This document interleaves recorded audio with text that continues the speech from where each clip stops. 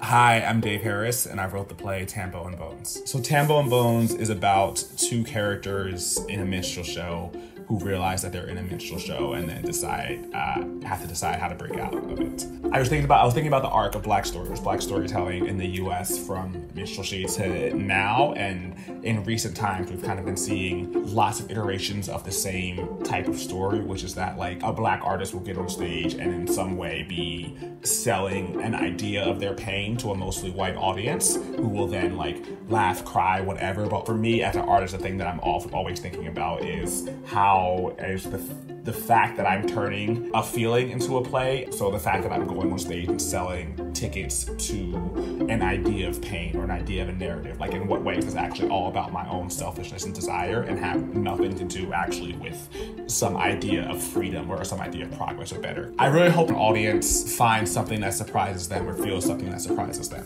Um, I don't know what that is or what that would look like, but whatever it is, like I'm, I'm interested in that individual experience.